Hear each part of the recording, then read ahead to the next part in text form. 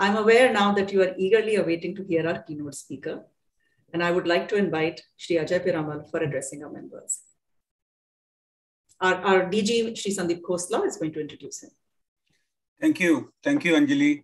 Uh, and a warm welcome to Mr. Ajay Piramal.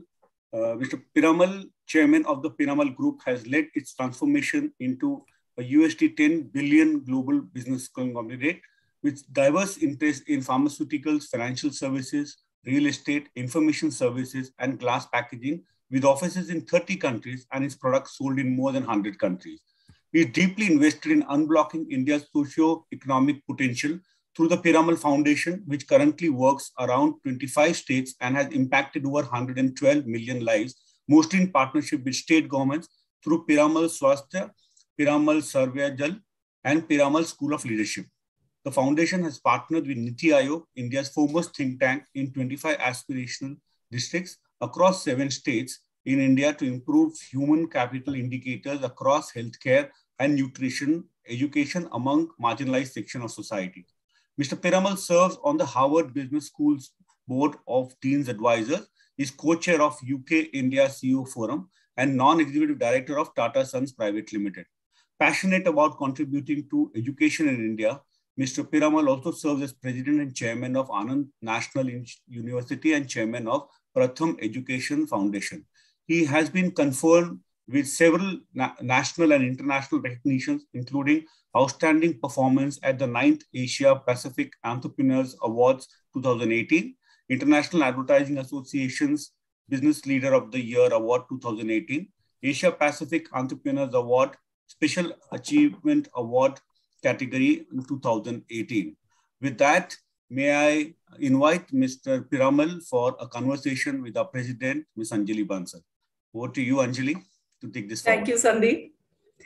Ajay, it is such an honor and pleasure to receive you here at the chamber. And I'll keep saying this as the session goes on. Today, we really hope to be doing this in person. But we will look forward to that at another date. Um, I'm just going to lay out the session outline. I'll invite Ajay to please speak for a few minutes, give his introductory remarks, and then we will have a discussion and a conversation. I will invite the audience to please keep putting your questions in the Q&A box, and then we will try and take them up as we go along. So the backdrop really here and the backdrop to the uh, Chambers Foundation Day today is how does India get to a $5 trillion economy? That is the goal. How do we make it both inclusive as well as sustainable? And I don't think we could have found two better champions for this than Ajay and Dr. Rajiv Kumar both. So Ajay, over to you. Uh, if I can ask you to give your introductory remarks, please. Thank you, President Anjali. Uh, Dr. Rajiv Kumar uh, is here. So, I mean, me talking about the 5 trillion economy, I think I should have followed him. But uh, I hope you will uh, pardon if I make some mistakes, Doctor. And all my uh, all the distinguished guests today at this uh, very important day. I must congratulate the Bombay Chamber for having celebrated its 186th Foundation Day. For any institution to survive for 186 years and still continue to do service to the economy, to commerce and industry and the government is, I think, a big achievement on its own. So, Anjali, uh, congratulations to you, Sandeep, and your entire team for doing this. I know that the Bombay Chamber has been in the forefront of doing many path breaking uh, changes in policy, bringing, uh, bridging the gap between industry and the government. And I think all of us in industry owe a debt of gratitude to you the chamber could not have gotten a, a better president, I can say, than Anjali. It's not because I know Anjali, but it's because, uh, or she's a friend of mine, but because of just the sheer knowledge, the expertise, and deep understanding she has. In a time when we are seeing that the growth in the economy, and if we have to move towards a 5 trillion economy, a big contribution will come from startups. A big contribution will come from technology, digital, and sustainability. All these are areas which Anjali has and is continuing to have a deep interest and a deep knowledge of. as an investor, as somebody who has been on boards of companies that do this, you couldn't have found a better precedent. And if you want somebody who builds the bridge between what the what the requirements and uh, of business are and what and how do you marry it with the requirements of the government again anjali fills that role because I don't know how many committees she's on. Probably she's Dr. Rajiv Kumar's favorite person and a go-to person for all committees. So again, that just shows your credibility both with government and with industry. So Anjali, that's uh, where we are. And I'm really delighted that you are part, uh, you are chairing this. The 5 trillion economy has been talked about a few years ago by uh, our Honorable Prime Minister. And uh, though we had a setback, let's say in the last year or two because of uh, COVID, I think we're well on our way. This year, we will be the fastest growing economy. And I can see this happening in almost every sector of the industry. Whether it is in some sectors which we are connected with, I can see the change happening. Whether it is in the pharmaceuticals and healthcare sectors, very obvious. Our healthcare spending is still a fraction of what it ought to be every year we talk about, and I'm hearing this from the last 15, 20 years, that healthcare uh, spending as a percentage of GDP needs to go up to 3% to 5%. When you think about it, the US is almost 18%, and Europe and all is in 7, 8%, but we are only at a percent and a half. So there is scope, and I can see from the budget of last year that there is scope to increase, but more can be done and this itself will contribute significantly. When I look at uh, pharmaceuticals, which is also connected, India is the third largest manufacturer of pharmaceutical products in the world, though the 13th in value. The fact is that if we are the third largest in volume and 13th in value, just shows the quality of products that we are making and the, at a reasonable cost. And as a cost for healthcare as cost for pharmaceuticals globally increase, this is another big area for us. Of course, financial services you have discussed, and I don't need to speak too much. Anjali is there as you were the non-exec chairman of Dena Bank. We have a Nilesh here as well. I think that's another huge area. And if we need to grow, that's where we will grow too. Similarly, in technology and startups, the fact that we are uh, getting so much of investment in startups and in FDI, the largest FDI last year that we got in spite of COVID is another plus for the economy. What the government is doing in terms of infrastructure spending is another area that will give us growth. So there are many such areas. I just want to highlight two things. The recovery is positive. We'll probably be the fastest growing economy, but we still need to look at if you want to have a sustainable recovery, how will the people who are really at the bottom of the pyramid, how have they been affected with COVID and how will we match them? The difference is, I think, only becoming large. Globally as well. I mean, you have companies now which are $3 trillion market cap which is larger than the GDP of India and larger than the GDP of almost the entire world except a few countries. So this difference, not only in the world, but even in India needs to be looked at. We uh, talk about the backward districts. The Honorable Prime Minister has identified 112 of these backward districts. And these are what we call the aspirational districts. The sad part is that of the total, though 16% of the population of the country lives in these districts, only 1.5% of the CSR money goes into this. So unless, and this is actually, these are just forgotten by us, all of us who sit here in cities. If we don't remember this, the growth will not be even and we will have challenges. I think so, whereas there are opportunities, we also look at this. With this, Anjali, I think uh, I made my opening remarks. Now look forward to Dr. Rajiv Kumar and your comments. Thank you, Ajay. Um, I'm actually going to start with a, a, very different question because that will put everything else into context. I know you are a firm believer in Bhagavad Gita. And purpose of enterprise is something that you think very deeply and often about. and you mentioned the need to bring together what is happening in aspirational districts and the non-metro India. So inclusive growth, sabka vikas, sabke saath. As a statesman, as a business leader, someone that everyone looks up to, how do you think about that in your in the context of your own business? And what is your advice both to our MSME members as well as other industrial members and entrepreneurs? How should they think about business more holistically with, with purpose? So of course you need profit, you need innovation because profit is what drives innovation, R&D and so on, but not in a way that is antithetical. So profit can need not be antithetical to, to purpose. How do you bring both together in your life and in your business? So uh, first of all, let me uh, just when you said it's sabka uh, sabka saath, sabka vikas, and I think Prime Minister added one more line, sabka prayas. So everybody has to be uh, together in this effort to make the whole country go ahead.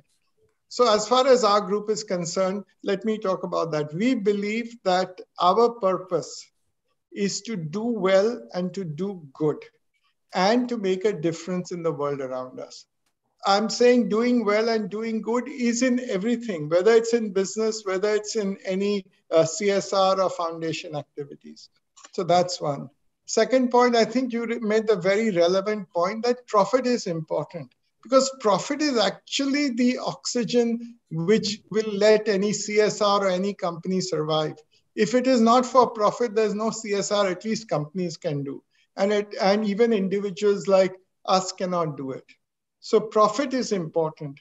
But is profit is only breathing the only reason for you to exist? No it's bigger than that. And therefore profit which is also used in the benefit of all stakeholders. Stakeholders are shareholders so you need profit for that. Uh, stakeholders are customers you need profit for that employees you need, but also society. I think very often we forget that. So we believe that in our foundation, some of the principles that we use are, of course, the purpose of doing well. So our foundation is also measured on impact, how it is doing well, and it has to do good. The second thing is we believe that innovation, as far as any uh, CSR activities are concerned, is really required in India, you cannot solve the problems of, uh, of the society by getting models which have been brought from abroad. Our challenges are different. And innovation can only happen in the private sector because by definition, government cannot do innovation because innovation means risk. It means making mistakes and there's so many other you know there are so many cvcs and so many other things. So it's difficult. You can't blame the government for that. Third thing i feel is that the private sector if you have to make an impact have to demonstrate change on some scale. It's very easy. I've seen too many foundations do small amounts of work a few thousand people and then go and lecture to all the governments that we can do this this that. It's not possible I think the people who are working in government, we have to give them respect. They know a lot. So unless and until you can demonstrate change in a significant uh, scale, you can't do it.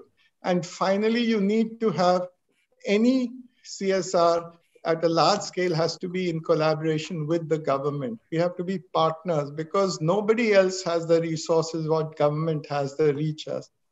And finally, you need a team of really dedicated, passionate people because this is a challenging job. So that's what we do. But let me say, when we do it, we have found that that's the greatest satisfaction that you can do and uh, you can get, and you can make a difference in the world. So that's what we go by. Ajay, you continue to inspire us. Uh, with that, I'm going to move into one of the business areas. You know, healthcare is a big area for India. Uh, COVID has demonstrated two things. We seem to be deficit on infrastructure, whether it's public or private on the healthcare side. Um, but at the same time, we have seen how we have innovated on healthcare also. It has been one of those sectors which has been slow to digitize. Uh, no one could imagine that doctor patient consultation would happen online, and now it is.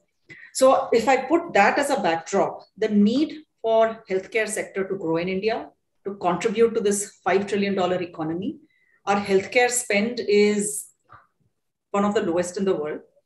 Uh, tell us a little bit about your thinking and vision for health, Indian healthcare, both innovation as well as accessibility. I think uh, the COVID has, as you said very correctly, the last two years have demonstrated that there is a lack of healthcare uh, in our, our, our healthcare facilities, healthcare spending in the country. But, and that's true. We lack a lot of infrastructure. We lack of lot of innovation till now. But when I look at the positive side of it, I think we've been able to ramp up a lot of the infrastructure in a very short period of time. Yes, more needs to be done, but I, I can say that after the second wave, a lot of things were created.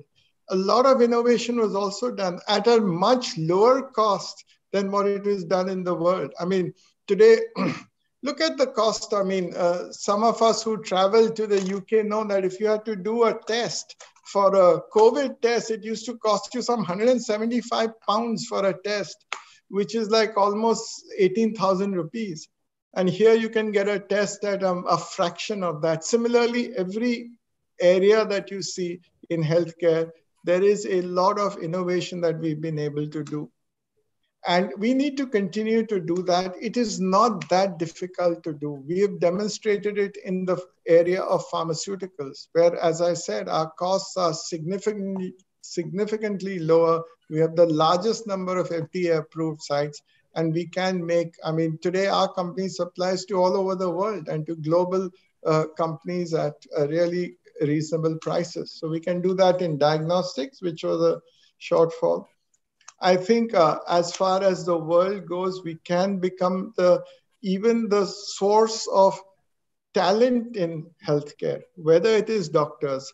And I see that a lot more medical colleges are opening up. We can actually staff the world, with our doctors, our nursing staff, and other people in terms of digitization, I can say that a lot has to be done. A lot is being done. Actually, for our, I mean, I can tell you our foundation is now working on creating national health records again with government for the entire population we are working in tribal health and we have actually a collaborative where some of the largest companies globally as well as in india and us are working together to create a national register so that whenever you go to a doctor you know you have your uh, you have your record. So the, uh, there is huge opportunity in health and i think india has a natural advantage to it. And if we want to go towards a 5 trillion economy this can be one of the big pillars for growth Uh, there's a question that has come for what is the role of MSMEs in the 5 trillion economy? I'm going to put this in a little bit of context here as well and would like to connect it back uh, to financial services.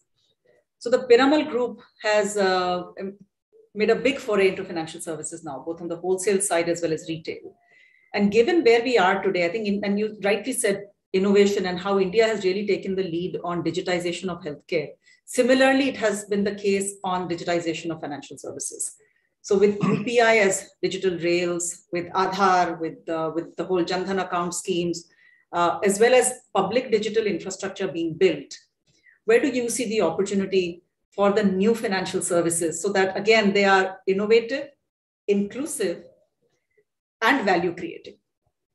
So again, when you look at MSMEs themselves, actually, if you see that there is a lack of funding for MSMEs, and you know, organized bank finance or from the NBFCs is very limited till now.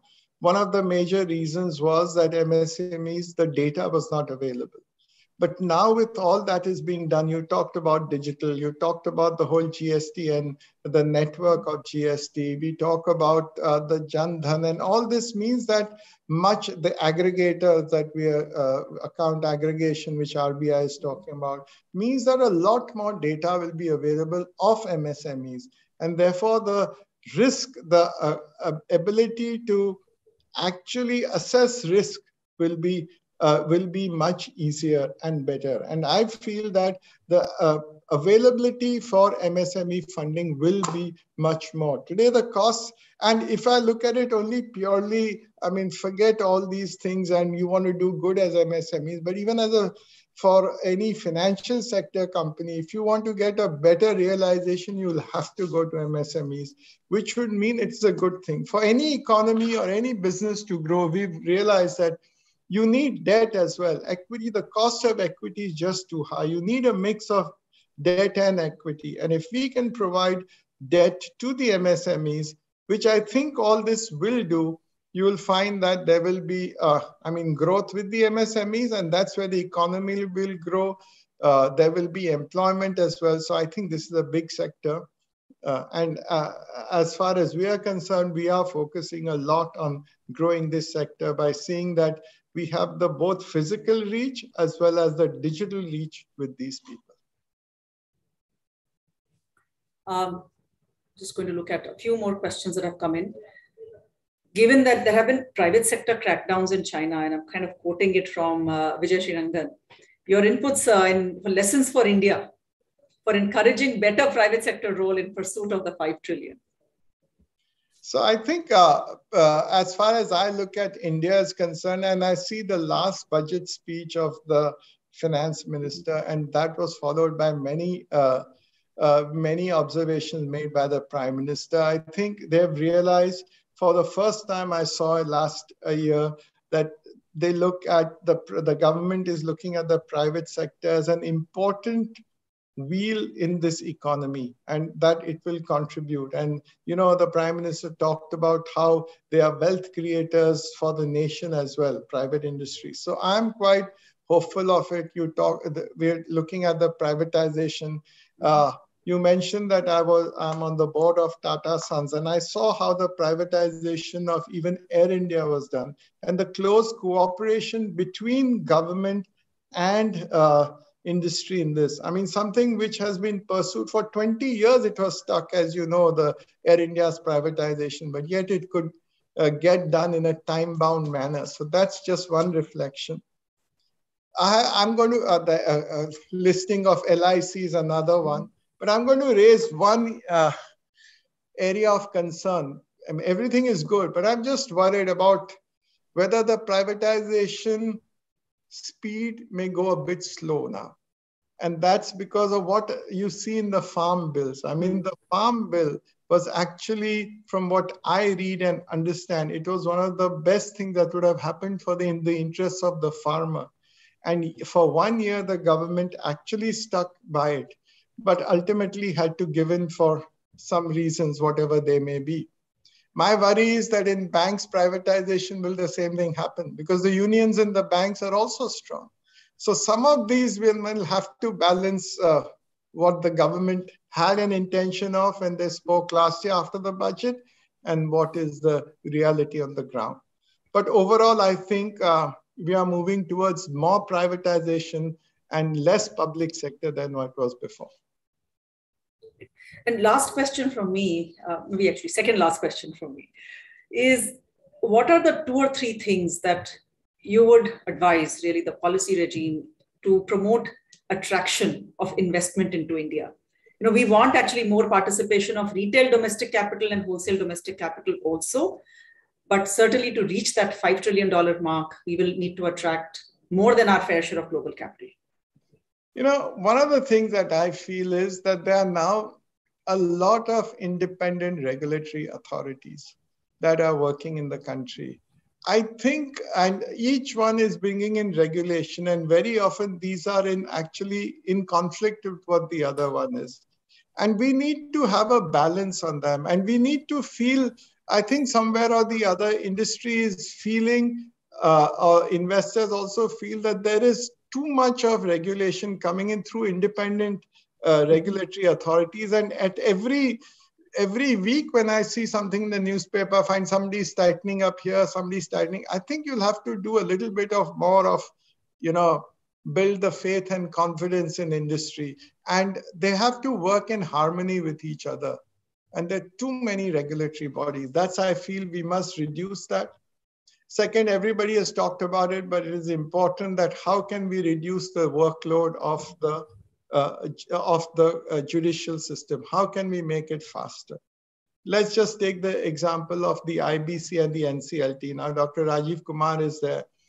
They had made a great emphasis. I think IBC was one of the best laws as far as the reform process is concerned, and so also NCLT, NCLAT, and all. And I know that every time they're making changes, now there's a, I mean, they had said that within 330 days, you need to get a IBC thing resolved. But I've seen uh, in our own experience, it can go much beyond that. It goes into maybe double the time. So how can we accelerate the judicial process in terms of getting more judges, more, I mean, making it more efficient, uh, getting higher quality of people? This is a big challenge that the country has. So I would say that if I would say that these are the two couple of things that we need to do to make it faster. And the third is that the states must honor contracts that have been made. Governments will change.